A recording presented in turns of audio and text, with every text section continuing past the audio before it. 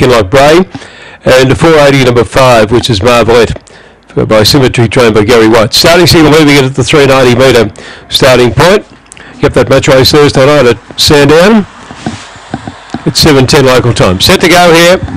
Already Box set, they're racing, and away they go out the back. Tarly and early would have been Mia Maestro. Going away fast there. Blackpool Remy found the front about two lengths clear. There goes Pandora's coming, running on strongly to go up and take the lead now. Followed by Marvelette third, four lengths away. Then came Shadrach, followed further back then by Paris Marie. Mia Maestro, Don's noisy in the straight. And it's uh, Pandora's coming the leader, coming out to a wide Marvelette, but it's going to be Pandora's coming from Marvelette and Blackpool Remy third. The break Paris Marie followed by Shadrach. Then came Mia Maestro, followed by Don's noisy and tailed off on the race there have been Galloway Hoping and the time showing around 22.57.